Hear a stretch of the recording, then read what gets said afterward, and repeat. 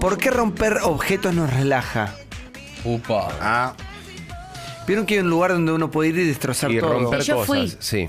A un- eh, como un cuarto. Fui. En salí Palermo, más ¿no? manija de, salí más manija ¿Sí? de lo que entré, sí. Ah, querés seguir rompiendo todo, es ¿no? que me calmó, fue como... ¿Cómo? como... Air room. Y todo iba caminando por la calle y veía todo lo que podía ir rompiendo, como, ay, si estuviera acá. ta, ta, ta, ta". Sí, cansa, es recansador. Sí, tenés televisores, tenés escritorios, tenés un montón de cosas. Por lo general hay muchas cosas de computadoras, ¿viste? Que no van a ningún lado, tipo monitores. Chatarra eh, que podés romper. teclados, mucho de eso hay. Mucho.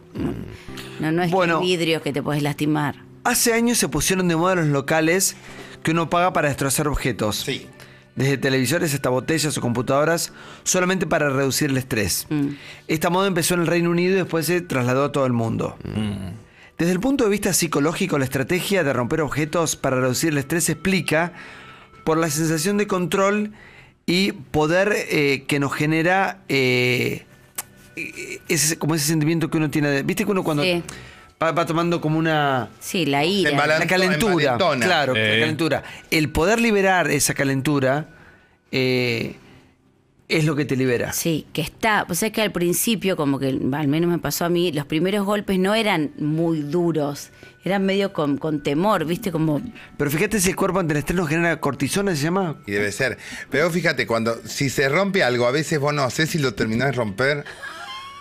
O soy la única loca No, yo. Cosita, no, Pone, claro. Bebé, se me cae la computadora y se rompió. Sí, sí. Ay, yo la termino de hacer La mierda. haces pelota. No estás bien. Lo voy a hacer ahora. ¡No! Claro. Sí, se me cae una sombra al piso. dicen que uno, uno, el punto está en liberar la tensión. Claro. Uno cuando hace estas cosas libera la tensión. Sí. Sí. Ahora, otra psicóloga explica que esto dura muy poco tiempo. sí. Que no es tan fácil liberar la tensión del cuerpo, la que tenemos los seres humanos, simplemente con romper algo. No, en el momento decís, uh, estuvo bueno, pero bueno, Para mí es como una descarga a tierra. ¿Viste la gente que necesita pegar una trompada a la pared? sí. Sí. Ah, no entiendo esas Mucho, cosas. hay nunca. mucho Sí. de eso. Sí. Lo que pasa es que depende, hay, hay momentos que uno ha tenido tanta, tanta ira que. Que tiene que. que, ¿Qué? que- que parece que Sí. la O sea, bronca. cagar, si ¿Qué se- le pasa? Es esa necesidad de que la bronca sea física, que se, que se descargue en lo físico, no solo en un. en un grito. Bueno, yo, ahí- yo una vez discutiendo con alguien conocí el estado de emoción violenta. Sí. Pues yo lo único que quería es que le diera un infarto. ¿Él estaba muy violento? Sí. Ah, bueno. sí. Te digo, yo, Viste que lo no, yo también, ¿eh? Ah, no, te digo que estoy viendo eh, videos y te digo qué placer cómo vuelan esos veladores y destruyen platos de una manera tan linda. Vos te vendría bien, Emiliano. Sí, vos sos sí. de la emoción Agarra- contenida. ay, agarran un bate de béisbol y agarran una masa gigante y le dan con todo y el tipo está tan contento. ¿y qué tenés? ¿Una máscara? y Una, una- Sí. un casco y una máscara. ¿Y qué les gustaría Y romper guantes, en este guantes. momento? Los huevos. No, te dan un enterito también ¿Qué? para. ¿Qué vas a ¿Sí decir? te escuché yo? Un culo, iba a decir. doctor. No, Ah, no, doctor. Era un por chiste, favor. era un chiste. Por favor, Santiago, doctor, ubíquese. Era una picardía. Bebe, ¿qué te gustaría romper? Estaba pensando, televisores no es tan satisfactorio. me Un buen piano, ¿no? Piano podría ser. Guitarra, bebé, Un destrozar una guitarra no está mal, ¿eh? No, Bien no, rocker. Sí, no. A no. mí me gustaría, si me aseguran que no me pasa nada, un ventanal de vidrio. ¿Cómo no te va a pasar? Le tenés que ganas a este, ¿no? ¿Querés probar con este? Le tenés Claro. ganas, claro. Escúchame, Pero Fernanda. Bien protegido y todo. Bien como protegida, En el medio así hacerle. ¿Sabés que rompería un, un auto? Un auto. Un auto, puede estar bueno. Así el sí. vidrio. El chiquito que tenías antes El de haberlo chiquito, ahí está, agarrado. con No, bronca, le das pero- con todo, y con una masa. No, yo lo quería. Lo mucho. destrozás. Lo quería mucho el chiquito. Vuela la batería, rompes todo. Nunca golpearon nada así con Sí, fuerza. yo rompí televisor en un video con Jimena Barón. De Ah, es malla y cierto. tacos altos. Es cierto. Es sí. cierto. ¿Y te sentiste mejor? ¿Te liberó? Liberó un poco. No, lo gracioso era que eh, tenías que filmarlo. Entonces me dijeron, bueno, concentrate, concentrate porque Tenés que dar bien, claro. Claro, no, Hay una sola tele. 10 televisores Claro. para que yo rompiera. Y era un televisor viejo. A mí me. eh, no, no, es que me, me ¿Te generó costó? una situación de violencia Eh, interna, ¿viste? Porque Mirá, además por- conoces tu ira. ¿ves? Claro, pero Conocés porque lo aparte no es que yo capaz. estaba libre. Tenía 20 personas mirándome. ¿Esta gorda qué le pasa? ¿Y qué les, vieron que ahora está muy de moda también los videos de Instagram que vemos? El tema de tocar. ¿Cómo tocar? Viste que hay gente que toca, no sé, que toca lana o que toca o que rasca. Ah, sí, o, que corta jabón. claro. Eso. Tiene, tiene un nombre eso. Sí, eh, Yo miro tipos nada más en Instagram. sí, sí, tiene nombre así como los que- Mujeres hermosas. como los Hay una que abre con unas uñas largas, abre como unos paquetes de. Tapping se llama. Tapping. Tapping. Tapping así Tapping. ¿Qué les gustaría tocar? ¿Dónde les gustaría meter la mano? Bueno, cuando te traen un regalo que está con.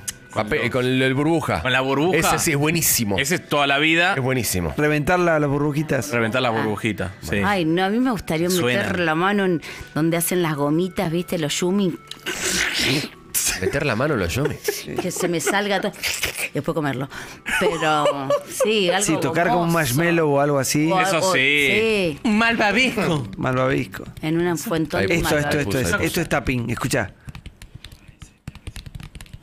O se llama ASR.